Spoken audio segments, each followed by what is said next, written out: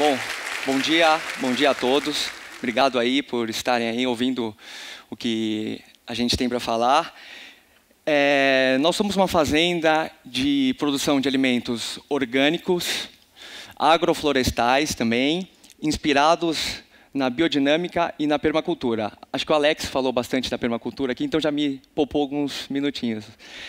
E então é o seguinte, e eu acho que eu vou contar um pouco aqui da, da história da Santa Julieta Bio e ela se confunde muito com a minha história particular também. Então, é, porque eu era publicitário, eu achava que eu tinha nascido para isso, assim, sabe? Eu tinha, eu trabalhava no escritório, então acho que é legal pensar nesse corte, assim, há cinco anos atrás, aquele cara é, com uma rotina de vida totalmente diferente, trabalhando estressado e sempre preocupado e muitas vezes até começando a ficar cada vez mais desacreditado no, nas, nas, porque a publicidade é uma ferramenta de vendas, né? Então eu, eu, tava, eu era totalmente desacreditado no, nos, nos, nos, produtos dos meus clientes, assim mesmo. Por exemplo, um deles era um adoçante. Acho que vocês já podem imaginar, né? Que eu comecei a questionar essas, todas essas, essas questões, assim. Então eu chamo de desses primeiros questionamentos, assim, que foram que foram momentos em que eu comecei a me perguntar: aonde eu quero estar daqui a 10 anos? Eu quero estar aqui fazendo isso, sabe? Como, como é que eu vou estar com a minha vida familiar, até a minha saúde, porque eu tinha uma alimentação totalmente desregrada, eu assim, me alimentava de junk food mesmo, assim, não tinha hora para comer. Tal. Eu acho que tem pessoas que se dão muito bem né, nesse modelo da publicidade, tal, mas definitivamente não foi meu caso. Até que chegou um momento em que eu falei, olha, eu vou, eu vou sair, vou, eu vou ter uma, vou, vou fazer uma transição de carreira. Aí me perguntava, mas transição de carreira para que carreira? Aí eu falava, não sei. Não sei, não sei o que eu quero fazer, mas eu sei o que eu não quero, que muitas vezes já é um começo aí, né? Foi para mim foi um super começo. E aí eu fiquei nesse período e eu e eu estava me alimentando melhor já pessoalmente eu comia bem, comecei a comer melhor, comecei, comecei a gostar. Comecei a gostar dos resultados e comecei a gostar também do, do de como é, que eu, eu, sempre fui muito curioso, então eu estava lendo, já lia muito a respeito, comecei a ler sobre o assunto bastante, e aí eu, eu, eu comecei a, a gostar muito em, em, em, em perguntar para o alimento, assim, sabe?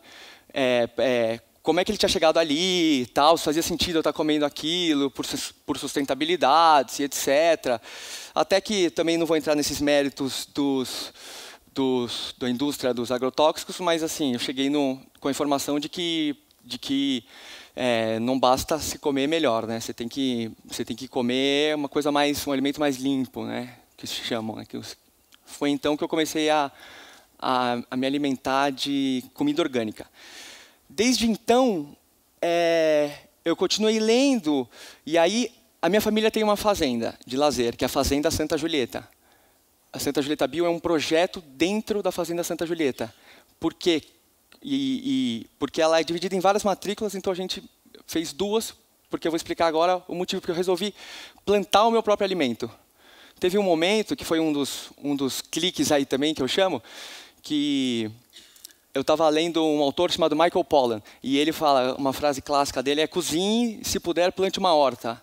E aí eu fui, aí eu, eu, eu cheguei assim um dia na fazenda para passar um final de semana, um feriado, abri o porta-mala assim, peguei minhas bagagens assim, olhei esse pôr do sol, que no caso da foto é um, nas, é um nascer do sol, mas é bem parecido que tem na região ali, que é em Santa Cruz da Conceição, a cidade, perto de Pirassununga. Então, a região tem esse pôr do sol assim, bem alaranjado mesmo. Eu olhei ele num campo assim, Antes dele, eu olhei para minha mão, assim, tinha alfaces, umas frutas orgânicas, né?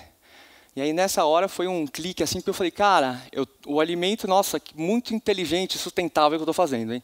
O alimento é plantado no interior, é levado para São Paulo, eu compro por um preço alto e levo para o interior de novo, porque eu queria comer orgânico, então eu levava meu, levava meu alimento. falei, cara, eu vou plantar, né? Eu vou plantar. E foi então que começou como hobby. Eu fiz uma, a gente fez uma horta lá, comecei a chamar. Eu, óbvio, não faço isso sozinho. Tenho uma, tenho uma, tenho uma, uma ajuda de excelentes colaboradores.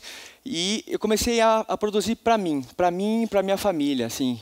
E isso foi causando curiosidade nas pessoas. Os amigos iam lá, família, amigos de amigos, até pessoas que iam prestar serviços na fazenda queriam comprar. Queriam comprar porque viam aquilo ali, aquilo, é, tava, era, era uma vitrine ali da fazenda, e falavam, nossa, como é que eu compro? Aí eu falava, cara, eu não compro, né? Eu não, não sei nem quanto te cobrar nisso, toma, eu dava. Eu dava para as pessoas, assim, eu dava a cesta, e aí depois perguntava, o que, que você achou? Que, que, onde pode melhorar? Estava bom, a crocância, como é que estava? Não, mas eu acho que eu posso melhorar ali, assim, tal. E as pessoas davam feedback, falavam para mim, não, por que, que você não planta um, um, você não planta um espinafre diferente, tal? Aí eu ia atrás da semente. E, e o que eu não percebia, assim, que isso já eram fragmentos que hoje formam o que eu e, consequentemente, a Santa Julieta Bio é.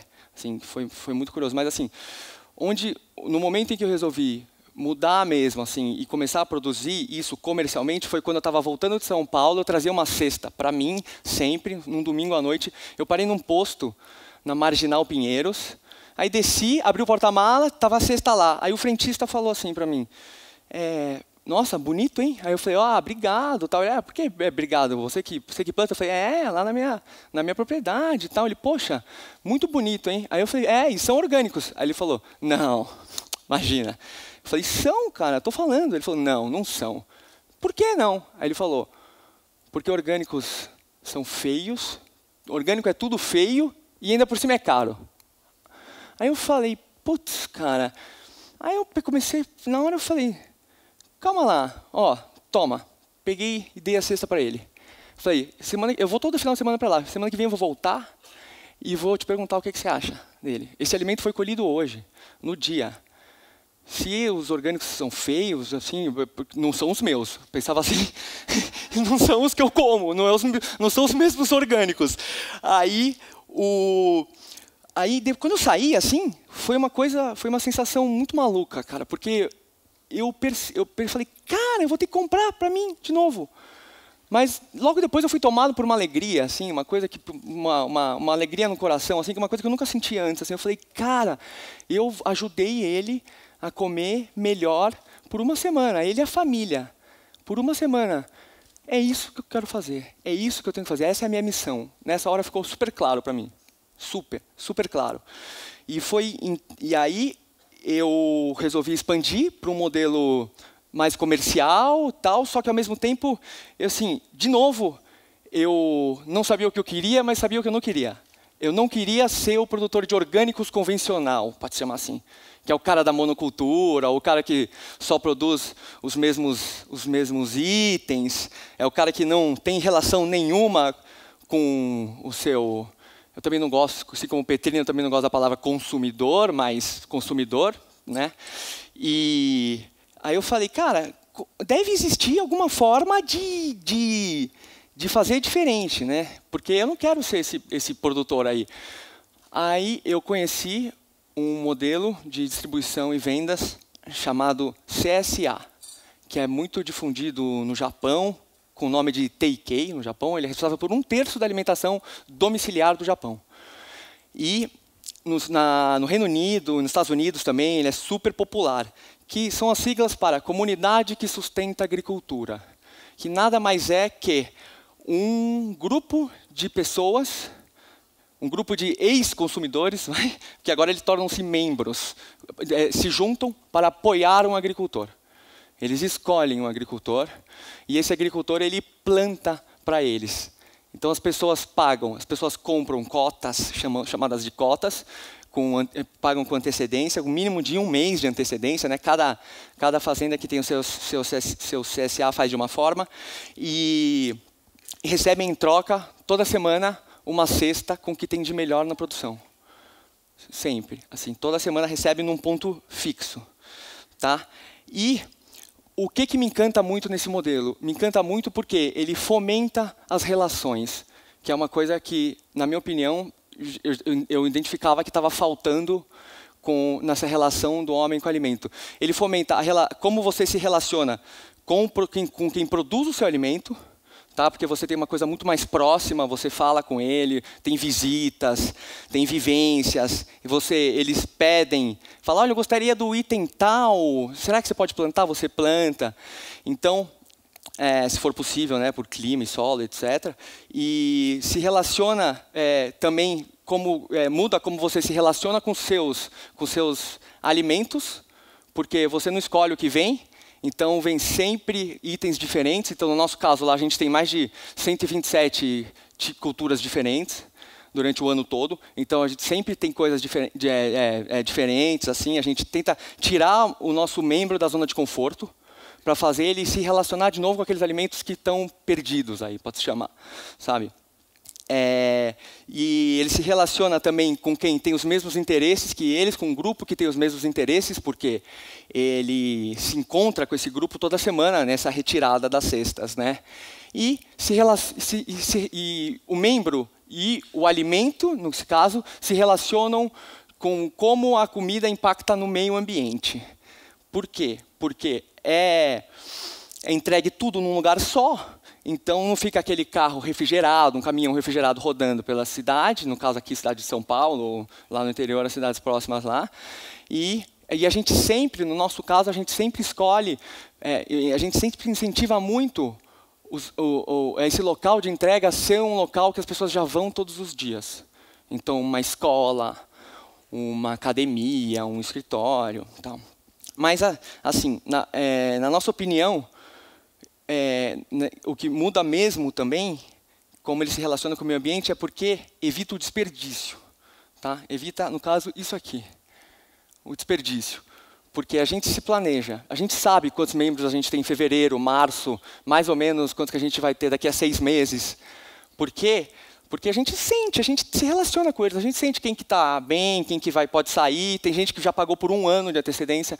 Tem relatos nos Estados Unidos que de pessoas que pagam por três anos, porque, porque o, o, o agricultor se planeja, compra o maquinário, consegue é, planejar a mão de obra para ajudar ele, fica tudo, fica e, e, e planta exatamente para as pessoas. A gente planta para os nossos membros, assim, sabe? Então, é, segundo a cadeia do desperdício agora, que saiu o estudo da cadeia do desperdício da ONU, é, eles fizeram um mapa da cadeia do desperdício. Né? Então, dessas 1,3 bilhões de toneladas desperdiçadas de alimentos bons desperdiçados por ano, é, 10% é no campo, 50% é no transporte e 30% é nos, são nos supermercados e outros 10% na casa. Então, no nosso caso, a gente já a gente trabalha muito para reduzir esses 10% do campo, 50, esses, esses 80, que 50 e 30 a gente tira desse modelo, e com a educação dos membros, com essas visitas, esse contato frequente, a gente trabalha muito para reduzir esses 10% em casa também. Muito. A gente trabalha muito. Então, a gente acredita que assim, que esse modelo de CSA não é a salvação do, da fome, da salvação do, do, do planeta, assim, mas a gente acredita que é, uma, é um grande aliado, que a salvação ter, vai ter que vir de várias formas, e, é, e, e esse modelo é uma delas. Tá? Porque, segundo o Fórum Econômico Mundial, 85% da geração Y acha que tem o dever de mudar o mundo. E eu, e, e eu acho que a gente que trabalha com isso tem o dever de, às vezes, mostrar o caminho nos dias de hoje um pouco, assim, de dar umas, de dar umas, umas oportunidades, assim, né?